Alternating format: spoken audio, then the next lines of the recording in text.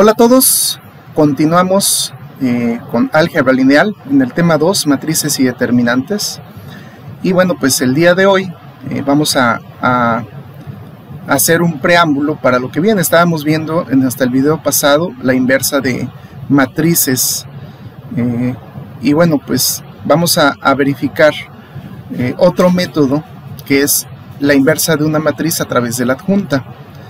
Pero para ese método, bueno, pues requerimos obviamente sacar el determinante de una matriz y es ahí a donde tenemos que hacer precisamente esa pauta, esa pausa, perdón, para eh, aprender primero los métodos del cálculo del determinante de una matriz para posteriormente ver el método de la inversa de una matriz a través de la adjunta, de la transpuesta de la adjunta. Este, y pues bueno, eh, ya les mencionaba yo que eh, la inversa de una matriz se podía dar si de esa matriz era diferente de cero. Si era igual a cero, automáticamente la matriz no tenía inversa.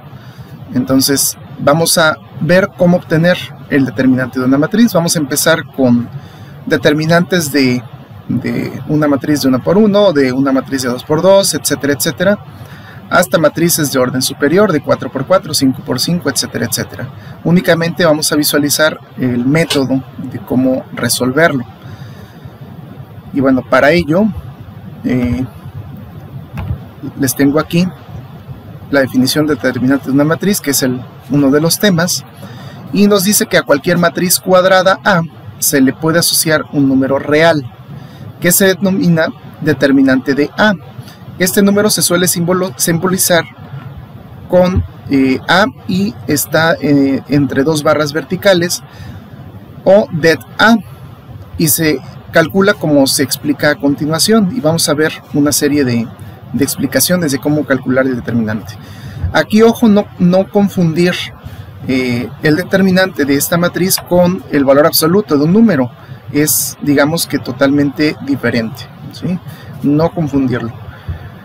Entonces, para el cálculo del determinante de una matriz de orden 1, es decir, únicamente de un elemento, estamos hablando que eh, el determinante de el elemento A11 es igual a el elemento 11. Únicamente tenemos un elemento. Así, por ejemplo, tengo que el determinante de 3 es igual a 3 y el determinante de menos 3 es igual a menos 3. Por eso les decía que no es lo mismo el valor absoluto que el determinante. Son cosas diferentes. Ahora, eh, si tenemos una matriz de orden 2, una matriz de 2 por 2, eh, si se demostró que A es invertible, sí, solo si el determinante de A es diferente de 0. Este importante teorema es válido para las matrices de n por n, obviamente para matrices cuadradas. Eso es otro aspecto importante que ya vimos en la definición en la diapositiva anterior. Eh, los determinantes se pueden obtener únicamente en matrices cuadradas de n por n, no hay para matrices rectangulares. Entonces, sí es importante notarlo. Aquí para una matriz de 2 por 2, lo que se hace, básicamente, si tengo una matriz A, el determinante de 2 por 2, será eh, obteniendo el producto de la diagonal eh, principal menos el producto de la diagonal secundaria. Entonces, vemos que es el, elemento 1, 1 por el elemento 2, 2 menos el elemento 1, 2 por el elemento 2, 1. Eso es básicamente, se suma la diagonal principal, el producto de la diagonal principal y se resta el producto de la diagonal, la diagonal secundaria. Entonces, como ejemplo, si yo tengo esta matriz de 2 por 2, 4 menos 1, 5 y 8, lo que hago es multiplicar 4 por 8, como lo tengo aquí, menos, porque vamos a restar, menos 1 por 5. ¿Ok? Entonces, al, hacer las operaciones, 32 eh, más 5, pues nos da 37. Básicamente esa es la operación y obtenemos obviamente el número real que pertenece al determinante de esta matriz. ¿sí? Ahora, para una matriz de 3 por 3, de orden 3, nos dice que sea A dada sus elementos, ¿sí? por filas y columnas, entonces se escribe A y se le adjuntan sus primeros dos columnas. Entonces tenemos eh, la matriz A11, A12, A13, A21, A22, A23, A31, A32, A33 y se le agregan a la derecha dos columnas, las dos primeras columnas, A11, A12, A21, A22 y A31, A32. Esas son las que se le agregan. Y por medio de estas líneas podemos nosotros observar qué es lo que se hace. Bueno, pues se hace el producto de este diagonal más el producto de esta diagonal más el producto de esta diagonal menos el producto de esta diagonal menos el producto de esta diagonal menos el producto de esta diagonal. Y así obtenemos este, básicamente eh, el determinante de esa matriz. Visto de otra forma, a continuación se calculan los seis productos poniendo signo más a los productos con flechas hacia abajo, que son las de color azul, y poniendo signos menos a los productos con flechas hacia arriba. Bueno, aquí las flechas que tenemos aquí, de color rojo, y se suman todos. Esto da como resultado la ecuación vista anteriormente.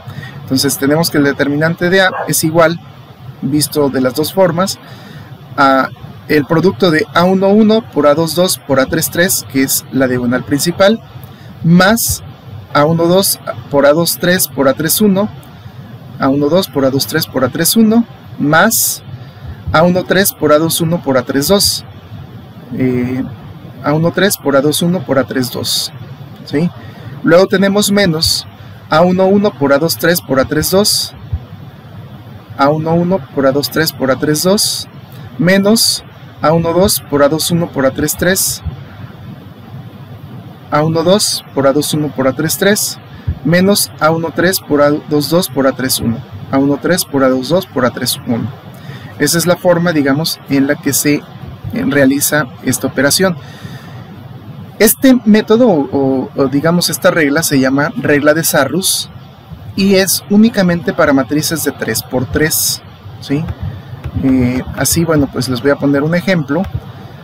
Y tenemos como ejemplo eh, que nos pide calcule el determinante de la matriz 3, 5, 2, 4, 2, 3, menos 1, 2, 4, usando ese nuevo método, que es el, método de Sarrus, o la, regla de Sarrus. Y bueno, si se escribe, tenemos 3, 5, 2, 4, 2, 3, menos 1, 2, 4. Y a la derecha agregamos las dos primeras columnas, 3, 5, 4, 2 y menos 1, 2. Si hacemos en este caso los productos tal cual lo vimos anteriormente, bueno, pues tenemos que es 3 por 2 por 4, estos son con suma, más 5 por 3 por menos 1, más 2 por 4 por 2, menos menos 1 por 2 por 2, menos 2 por 3 por 3, menos 4 por 4 por 5.